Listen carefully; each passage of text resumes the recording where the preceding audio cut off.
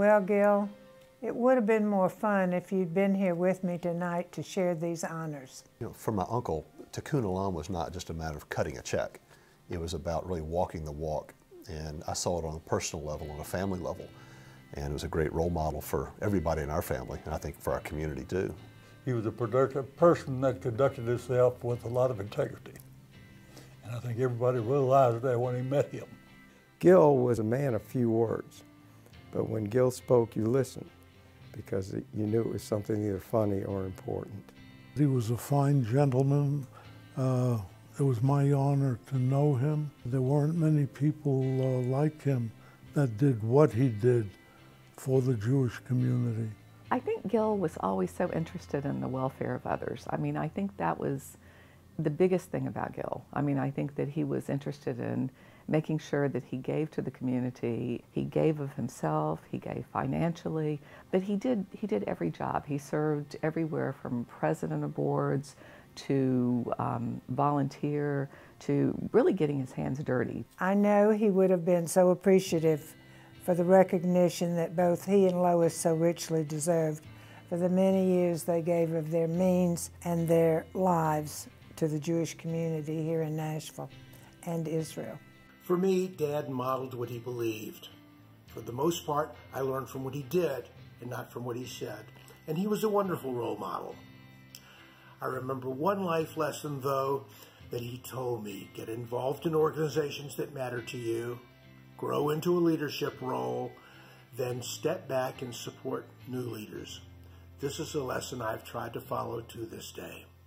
Of course, he, he, he just had a feel for people and described it very well. And one of the things he had a feel for was the Jewish Community Center movement.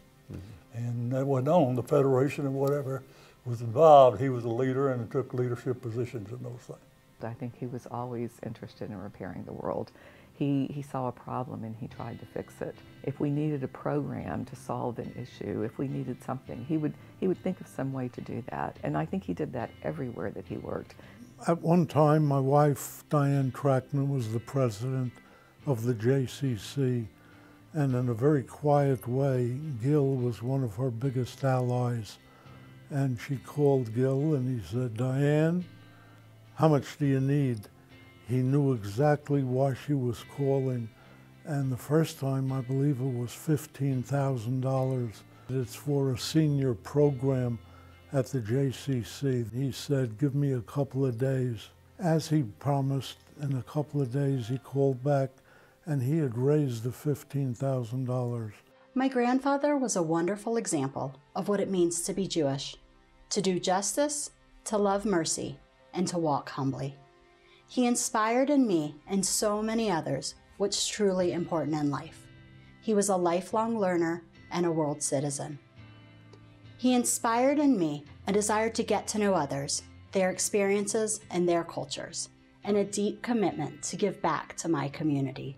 Back in the 70s and 80s, when the four of us would get together socially, no matter where the conversation started, it always ended up with Lenny and Gil talking about the JCC and Lois and I talking about the campaign or Jewish education. We expanded each other's horizons, I like to believe. I'll say he was a lot better tennis partner than golfer on, on the uh, putting green. My dad always called him the gorilla when he was putting because he was so, so, so bad on the putting green, but he had a really good tennis game and I was proud to say I was his doubles partner a lot uh, when I was growing up. Because of my grandfather, I have learned a lot about giving back. He was always contributing to so many causes with his money and his time and had a great impact on influencing us as grandchildren to do the same. But my grandfather's influence went deeper than modeling. He also imparted wise counsel.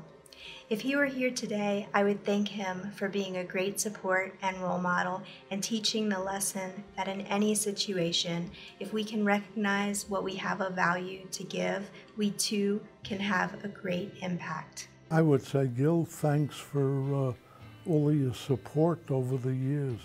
He was really a wonderful man. Well, I miss him. I think there are a lot of people in Nashville that miss him. Uh, he was always here.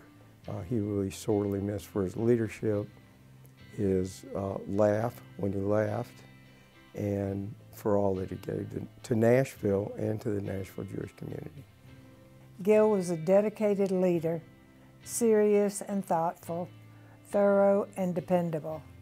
He had a warm smile and a big heart. He is missed tonight by all of us who knew him, worked with him, and admired him.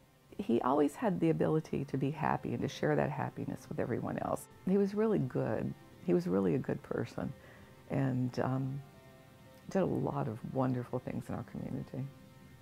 I'd say thanks for the leadership you've shown me how to be involved in. And I'd say thanks for being a great role model, essentially the patriarch of our family. He's meant the world to everybody in our family, and we'll be eternally grateful for it. If my grandfather were here, I would say to him, thank you. Thank you for showing us the importance of family. Thank you for inviting strangers into your home. Thank you for giving of yourself to philanthropic and service organizations.